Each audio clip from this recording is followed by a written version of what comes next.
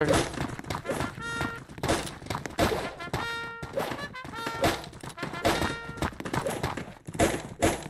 holding this down. Don't uh, let me out. I, oh, never mind, you already built it. You can get around, I think. Probably. Alright, go get him, Sapper. What are you doing? You can definitely get around this way.